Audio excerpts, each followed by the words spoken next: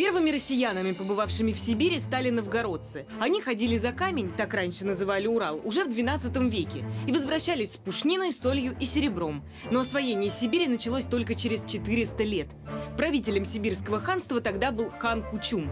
Он старался расширить свои владения и поощрял набеги на российские земли. От них особенно страдали купцы Строгановы. Царь Иван Грозный из-за Ливонской войны не мог отправить войска к восточным границам. Вероятно, тогда Строгановы и обратились за помощью к казачьему атаману Ермаку Тимофеевичу.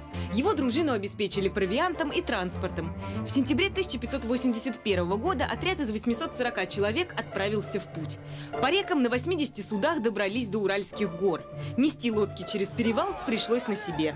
Сибирских татар казаки встретили только следующей весной и стали выигрывать бой за боем. Цель ставилась изначально тоже достаточно такая конкретная, высокая цель – взять столицу вот, Сибирского ханства и разгромить Кучума. В значительной степени эта задача была выполнена. В ходе э, нескольких боев э, значительные силы хана Кучума были разбиты.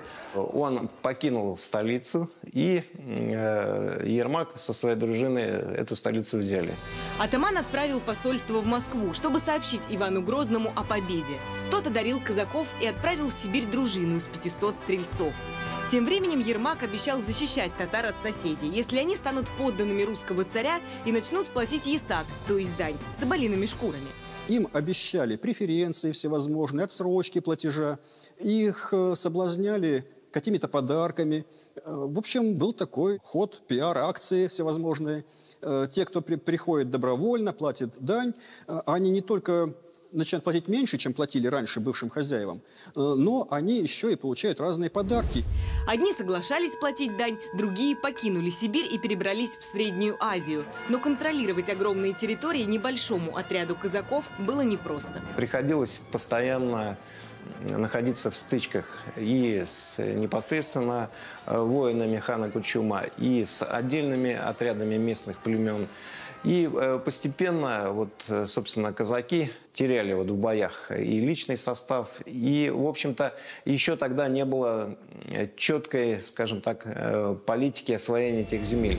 Поход Ермака длился 4 года. В августе 1585-го ночью на его отряд напали татары и перебили спящих казаков. Атаман попытался спастись, переплыв Иртыш, но его погубил подарок Ивана Грозного. Ермак всегда носил сразу две кольчуги, подаренные царем. Плыть в них он не смог и утонул. Но освоение Сибири продолжалось. Через год был основан первый русский город – Тюмень. Следом еще один – Тобольск. Через пять лет на восток начали переселять крестьян. Но набеги Кучума продолжались. Окончательно разгромить его войско удалось только через 13 лет после смерти Ермака.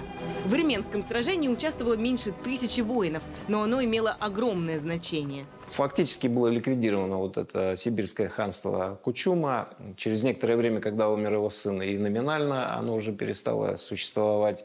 И, в общем-то, это сражение завершает вот такой важный первый этап освоения Сибири российским государством. Следующий этап начался уже после смутного времени. Первым русским городом, заложенным при Романовых, стал Кузнецк, а точнее Кузнецкий острог. Простая деревянная крепость с восьмию башнями. Только в 17 веке на нее нападали 30 раз, но так и не смогли захватить. Кузнецкий острог назвали, потому что на этих землях жили татары-кузнецы. Они ковали железо, установив горн прямо в юрте.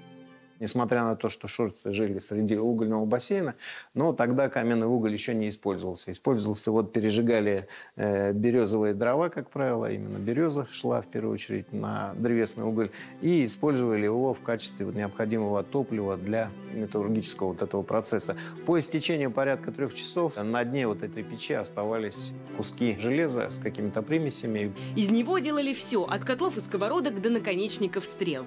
В XVIII веке в Кузнецке появилась земляная крепость, а в начале 19-го и каменная, единственная в Сибири. Строили ее для защиты от э, цинского Китая. Цинская империя претендовала на э, сибирские земли, в том числе на территорию, на которой находится город Кузнецк.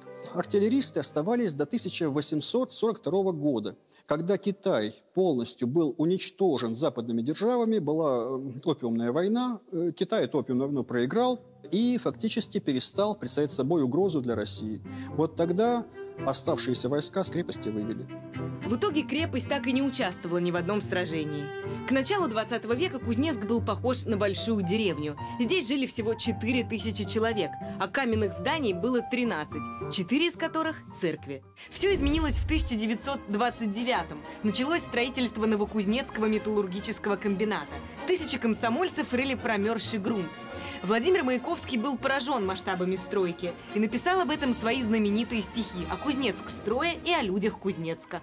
Темно свинцово ночи, и дождик толст, как жгут. Сидят в грязи рабочие, сидят лучину жгут. Сливеют губы с холода, но губы шепчут Влад. Через четыре года здесь будет город-сад. При заводе действительно появился сад-город. Так назывался рабочий поселок. Вскоре он войдет в состав города, который переименуют в Новокузнецк. К 1939 году его население выросло на 4354%, а завод занял первое место в СССР по выплавке стали. В годы Великой Отечественной войны здесь изготовили броню для 50 тысяч танков и 45 тысяч самолетов.